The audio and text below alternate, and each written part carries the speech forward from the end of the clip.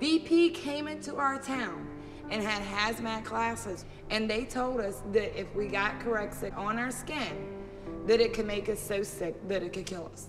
Fishermen who are, have been exposed to this mixture, they have literally got ulcerated skin.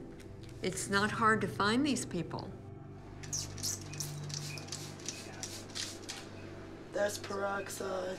We've been breathing it, sleeping in it, running around in it, sweating in it, bathing in it. We get our water supply from the river. They've got big ulcers of where th- this mixture has eaten through the skin. I've got huge sores, open sores and blisters on my legs, and I have, still have scars. But you can see the scars. Now, I got a few whelps still there that are scabbed over. I think that we've all been poisoned, to be perfectly honest with you. I really do. We have between four to five million people in this directly affected area of the coast, and it's pretty clear why it's not being reported because BP can't afford to have it reported, and by default, the US government can't afford to have it reported.